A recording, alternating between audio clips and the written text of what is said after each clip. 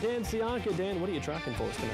We're tracking a storm system, Aaron, and with that, we've been seeing some temperature changes. It was nice and warm out there yesterday, and it has cooled off significantly across Santa Cruz County today, where we're seeing readings in the 50s. Right now, 67, for example in Soledad. So definitely seeing some temperature changes out there as this uh, weather system starts to move through. Notice uh, the warmer readings to the south right now and the cooler readings are off to the north. And that's because the front hasn't really moved through our area completely yet. So, so look at our big clouds and precipitation map, the swirl of low pressure back here, the actual frontal boundary coming through California like this. We can see it stretching right down to here on the central coast. And so far we've seen rain across most of Santa Cruz County, the Monterey Peninsula to some extent, even the east shore of the bay here in Salinas just hasn't really got going just yet, but a few sprinkles uh, here uh, in some areas, certainly within the moment, next few moments, as this is just right on our doorstep here in Salinas. But elsewhere, the southern Salinas Valley, you haven't seen anything yet, and it will take some time for that moisture to make its way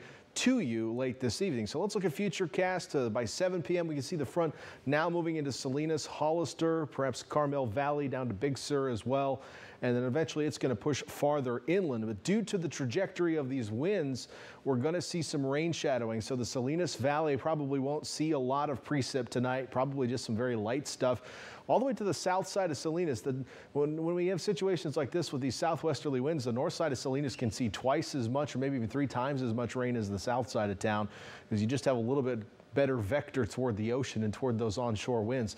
Whereas Santa Cruz County will continue to see light rain late tonight, even though the frontal boundary has passed, the south southerly and southwesterly winds will keep pushing moisture up into the Santa Cruz Mountains, and it just kind of acts as this filter and starts to pull raindrops out of it. And that will happen also down along the Big Sur coast as well as we head into the late evening hours. So even though by 6 a.m. tomorrow morning that system's gone, it's snowing up in the Sierra, we're still seeing some wind-driven precipitation up in the coastal hills, those southwest-facing slopes. So some moisture will continue through the overnight in the coastal mountains, whereas in the valleys, that activity will start to die down. Can't rule out a few more sprinkles tomorrow afternoon, especially across Santa Cruz County and up in the hills.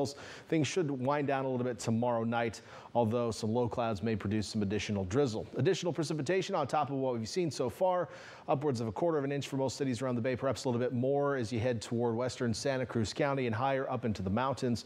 But inland areas, see, you're not going to see all that much, mostly just a few hundredths of an inch for most of our inland valleys as you'll be rain shadow from this event.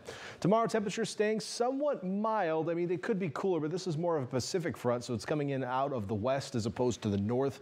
It's not dragging that cold air down with it, just the cool, moist Pacific air. So we're going to be back to 60 in Santa Cruz tomorrow, which is cool for this time of year and staying in the 50s with southerly winds coming up into the Santa Cruz Mountains.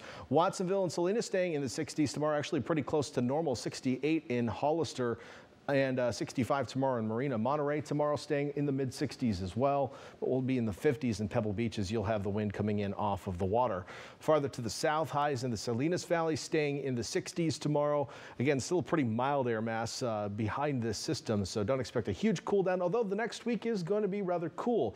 So we'll get a couple more little pushes of cooler air out of the north as we head into Thursday and Friday. Notice the high temperatures on the coast keep going down all the way into the weekend and the lows do as well. We'll have some drier air in place, and while we'll have a lot of sunshine in the afternoons, I expect it'll be kind of cool and crisp as we head into this weekend. Maybe a travel weekend for you as we head into the Thanksgiving week. As we look at our inland forecast, it'll be cooler and breezy Thursday and Friday. Mornings on Saturday and Sunday may be frosty in those inland valleys, but some warming is expected as we head through midweek next week. We're back after this.